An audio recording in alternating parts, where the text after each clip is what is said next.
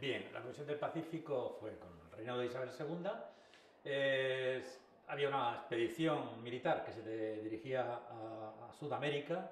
Ahí se pensó que en esa expedición podría ir también acompañada de una serie de científicos, también para aprovechar ya esa expedición y recoger pues muestras de cada una de las especialidades que había en ese momento en España.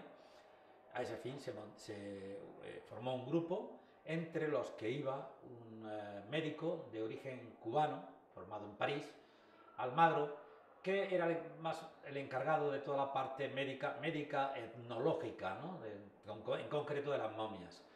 Esa fue la idea primaria, fue una expedición bastante azarosa, eh, bastantes contratiempos, eh, incluso dos de los expedicionarios murieron a consecuencia de, esa, expedición, pero finalmente se trajeron valiosísimas muestras de, todo tipo, eh, en nuestro caso en el que nos ocupa de momias, de Chiu Chiu en este caso, el desierto de Atacama, que es una colección valiosísima, que ahora la mayor parte de ella se encuentra expuesta en el, aquí en el Parque de las Ciencias en Granada, y que está sirviendo, ha servido y sigue sirviendo y seguimos investigando sobre ellas a fin de obtener eh, pues, una idea de todas las vicisitudes que le han ocurrido, así el origen de ellas, eh, qué le, le, acompañaban estas momias en cuanto a tejidos, en cuanto a todo tipo de, indumentaria y además eh, qué posibles lesiones tenían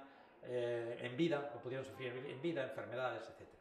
Esta, esta, comisión aportó, como digo, en principio es un material del que material muy valioso.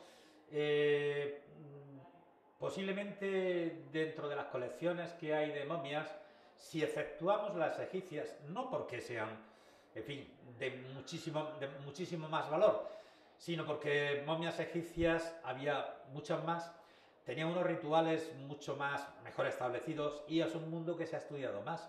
Pero casi si, efectuamos este, este mundo de las momias egipcias, yo diría que estas momias de Atacama, de la de Chiu Chiu, pues serían pues las, las las siguientes, ¿no? en orden de, de, prevalencia, por el interés desde el punto de vista de su buena conservación. Tiene una conservación excelente y eso que eran momias que no, no tuvieron un tratamiento demasiado especial. ¿eh? Posiblemente un tratamiento externo con algún tipo de bálsamo, etcétera, pero las, eh, el medio donde se momificaron era un medio idóneo y se han conservado muy bien.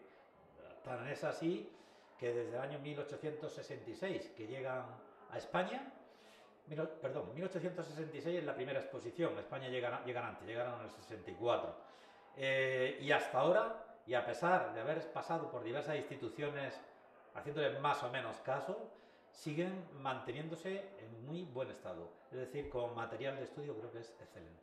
La criminología es una ciencia que estudia el delito, estudia el delito desde todos los puntos de vista, en todo el contexto, desde el hombre criminal hasta, eh, por, supuesto, la víctima, las circunstancias de la víctima, las circunstancias del hombre criminal, etc. Es una, es una ciencia compleja en ese sentido porque abarca sociología, psicología, medicina, criminalística, etc.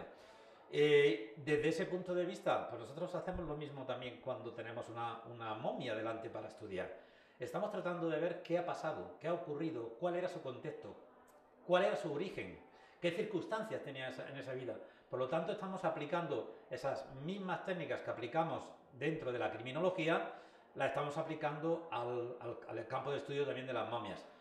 Habría que efectuar, desde luego, que la criminología eh, se trabaja también desde el punto de vista sociológico directamente, mediante test, mediante entrevistas, etcétera, cosa que no podemos, por supuesto, hacerle a la momia, pero, pero sí podemos contextualizarla. Y si se puede contextualizar, podemos ver en su medio por qué tenía los padecimientos que tenía, por qué sufría las enfermedades que, sufría o por qué tenía las lesiones que tenía, que pueden ser lesiones generadas por uno de sus congéneres, uno de, los, eh, de las personas que convivían con ella. Por supuesto, mm, sí, están íntimamente relacionadas y, y, esto ya lo he comentado muchas veces, la, ciencia se relaciona mucho entre, entre, ellas, pero en concreto criminología, el mundo de las momias, paleopatología, eh, antropología forense, todo esto es un mismo conglomerado que se aplican una serie de conocimientos específicos que nos valen para todos. Luego en cada caso, por supuesto, habrá que ir seleccionando. La ayuda es mediante la divulgación. No lo debemos olvidar que los museos lo que hacen es divulgar. Eh, es el primer paso. Es decir, de una persona que no está interesada o que, bueno, ni muestra interés ni no muestra porque no conoce. Entonces, el primer paso es el conocimiento, el conocer algo, el conocer un objeto, el conocer una momia y saber acerca, acerca de ella. Y saber, en líneas muy generales, por supuesto, qué se ha podido extraer de información de esa, de esa momia, hasta dónde hemos podido llegar en nuestras investigaciones, todo esto contado de una manera sencilla. Por tanto, la idea del museo, la idea del Parque de la Ciencia o la idea del Museo, del Reverte, que, en este momento dirijo yo, eh, es esa, es esa. Yo no pretendo tampoco, cuando llega un grupo ah, de personas a ver el museo, el que terminen siendo unos expertos en estudio de momia, en estudio de huesos. Lo que pretendo es que de alguna forma se impregnen de ese sentido, de esa forma de estudio y creen ellos ese aliciente para continuar.